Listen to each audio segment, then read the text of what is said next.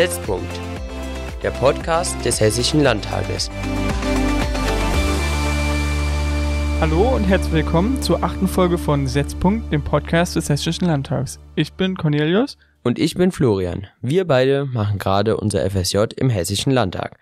In der letzten Folge haben Florian und ich mit dem Direktor beim Landtag über die Landtagswahl gesprochen und jetzt steht am 9. Juni die Europawahl an und wir möchten euch ein bisschen was darüber erklären, wie man wählt und was man überhaupt wählt.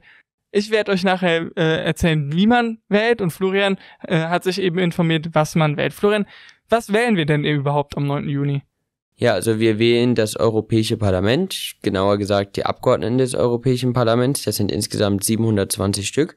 Und in jedem der 27 Mitgliedsländer der EU haben die Bürgerinnen und Bürger die Möglichkeit, Parteien bzw. Kandidatinnen und Kandidaten zu wählen.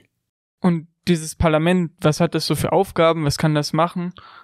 Ja, das Parlament ist direkt gewählt von den Bürgerinnen und Bürgern und vertritt deren Meinungen in der Gesetzgebung. Die Gesetzgebung macht es aber nicht alleine, sondern der zweite Teil der Gesetzgebung ist der Ministerrat. Da sind aus jedem Land die Fachminister für ein gewisses Thema. Also es gibt den, der Ministerrat setzt sich je nach Thema verschieden zusammen. Sind die Fachminister, zum Beispiel Justizminister, Außenminister oder sowas in der Art, setzen sich dann zusammen und äh, beraten von den Regierungen der jeweiligen Länder über das Thema. Was noch eine spannende Besonderheit der EU ist, ist, dass Gesetzesvorschläge nur von der Europäischen Kommission eingereicht werden können. Die Kommission ist vereinfacht gesagt die Regierung der EU. Und die Chefin oder der Chef von dieser Kommission ist die Kommissionspräsidentin oder der Kommissionspräsident. Aktuell ist das Ursula von der Leyen, die kennt man vielleicht hier in Deutschland auch, weil sie bei uns mal Ministerin war. Und da, du hast dich ja vorhin gefragt, was für eine Rolle das Europäische Parlament hat und welche Aufgaben ist wieder das Europäische Parlament ganz wichtig, weil es eben die Kommissionspräsidentin oder den Kommissionspräsidenten wählt. Für was brauchen wir dann die europäische Ebene? Also wir haben ja schon die Landes- und die Bundesebene, die auch schon sehr viele Kompetenzen hat. Also wir schauen uns mal in unserem Alltag und in den Nachrichten um. Es gibt total viele Probleme, die sich einfach nicht in den einzelnen Ländern lösen lassen. Also Klimawandel ist ein Thema, aber auch Migration ist sicherlich ein anderes Thema wo einfach ein Land alleine vielleicht auch ein Stück weit sogar damit überfordert ist oder gar nicht genug Einfluss hat alleine, um da was Großes zu bewegen. Und deshalb ist es total wichtig, dass wir uns in Europa, wo wir viele verschiedene Länder haben, auch zusammen Gedanken machen, wie können wir zusammen Probleme lösen. Oder es muss ja nicht immer nur um Probleme gehen, wo haben wir zusammen gute Ideen, die wir umsetzen können. Also zum Beispiel, wenn wir uns den Euro als unsere gemeinsame Währung anschauen oder anschauen, dass wir eine Reisefreiheit haben und ich jederzeit in alle anderen EU-Länder ohne große Grenzkontrollen oder eigentlich gar keine Grenzkontrollen reisen muss, das ist ja ein super Privileg, was wir haben, was überhaupt nicht möglich wäre, hätten wir nicht die EU als große Ebene, die uns zusammen verbindet. Hast du denn irgendein Beispiel für ein Gesetz, das mich vielleicht auch direkt betreffen könnte? Ja, da gibt es tatsächlich ein Beispiel aus der aktuellen Amtszeit des Europäischen Parlaments. Das hat nämlich zusammen mit dem Ministerrat USB-C als Ladestandard für Handys und auch für Laptops festgelegt. Weil man kennt es ja vielleicht, wenn man bei Freunden zu Gast ist und äh, sein Handy aufladen möchte, weil man wenig Akku hat, aber die nutzen ein Handy, was einen anderen Ladeanschluss hat, dann ist man aufgeschmissen, weil es so viele verschiedene Anschlüsse gerade gibt. Mit der neuen Regelung des EU-Parlaments und des Ministerrats wird das in Zukunft nicht mehr der Fall sein, weil es nur noch USB-C bei allen Handys und später dann auch bei allen Laptops geben wird. Also gibt es keinen Kabelwirrwarr mehr. Das ist ja schön, dass ich von jedem ein Kabel dann nehmen kann, aber warum ist das überhaupt nötig?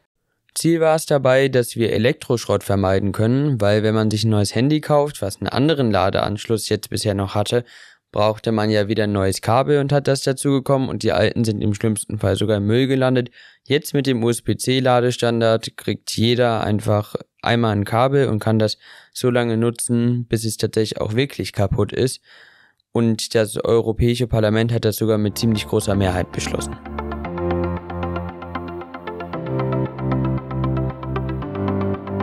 Aber kommen wir nochmal zur Europawahl zurück. Wir haben schon gesagt, dass sie am 9. Juni stattfindet. Cornelius, könntest du unseren Zuhörerinnen und Zuhörern nochmal sagen, wann genau sie wählen gehen können? Genau. Also der 9. Juni ist es für uns in Deutschland. Wenn ihr zum Beispiel in einem anderen äh, Mitgliedsstaat wohnt, kann es sein, dass ihr äh, paar Tage davor, also vom 6. bis zum 9. Juni die Wahl, ähm, dass ihr da eben ein paar Tage davor schon wählen dürft. Aber bei uns in Deutschland öffnen eben die Wahllokale um 8 Uhr am Sonntagmorgen äh, und schließen dann pünktlich um 18 Uhr, also wie bei vielen anderen Wahlen auch. Und wer darf dabei eigentlich wählen? Kann das jeder und jede tun oder gibt es da Einschränkungen? Prinzipiell darf jeder und jede EU-Bürgerin, die in einem EU-Mitgliedsland wohnt, äh, wählen. Das muss aber auch nicht das EU-Land sein, wo man die Staatsangehörigkeit hat. Zum Beispiel, wenn ich in Spanien wohnen würde, könnte ich auch dort wählen. Dies Jahr ist es in Deutschland eine besondere Wahl, denn zum ersten Mal dürfen auch 16-Jährige wählen und damit eben mitbestimmen, wer denn in der EU äh, Gesetze mitentscheidet. Und wenn ich jetzt in Deutschland bin, kannst du mir erzählen, wie ich dann am Wahltag äh, wählen kann am 9. Juni?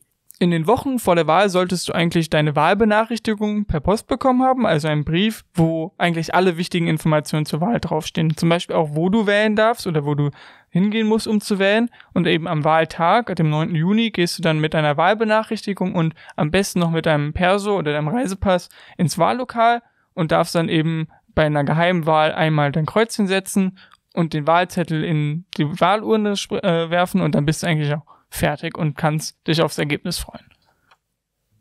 Und was ist, wenn ich für den 9. Juni jetzt schon lange einen Urlaub geplant habe oder irgendeinen Ausflug und gar nicht ins Wahllokal gehen kann? Das ist kein Problem, denn in den Wochen davor kannst du auch die Briefwahl beantragen. Da kriegst du dann Briefunterlagen und deinen Stimmzettel, den füllst du einfach zu Hause aus, ähm, packst den in den Briefumschlag und schickst ihn per Post eben an das Wahlamt.